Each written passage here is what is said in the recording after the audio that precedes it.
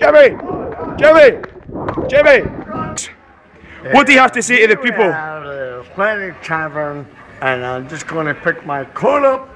Athletic Tavern? Uh, Athletic Tavern? That's it, And what do you have to say to the people? Hallelujah! It's Praise the Lord. St. Stephen's Day.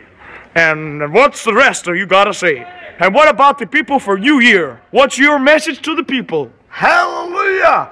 Enjoy yourself. And drink, drink plenty of alcohol? No, no, no. Barack Obama says no. He says cheese and onion. One more question, one more question for the people. Do you condone drink driving?